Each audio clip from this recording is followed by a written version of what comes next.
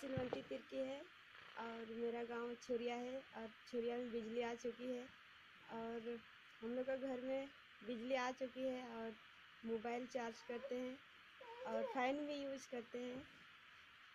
और पढ़ाई भी कर लेते हैं